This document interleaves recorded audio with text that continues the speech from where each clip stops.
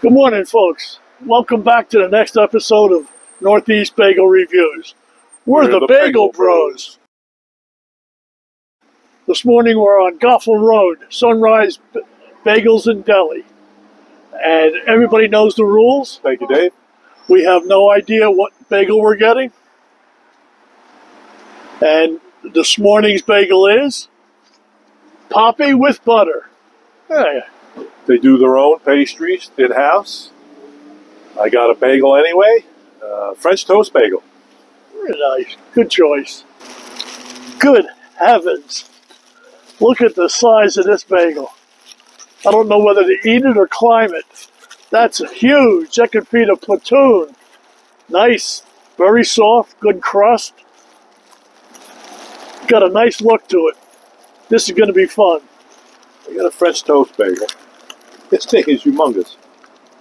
The size of this thing. Very heavy.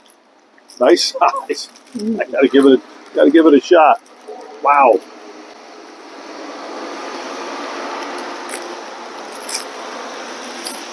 Nice chew. Moist.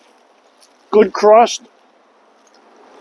I'm going to give this a 7 7, folks. That's a nice bagel.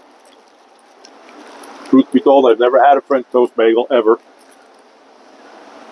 Very good flavor, tastes like French toast. This thing's humongous, man. I give you an 8 1. Very nice. That's Sunrise Bagels and Deli, Goffle Road, Wyckoff, and- New Jersey. Like and subscribe. Like and subscribe.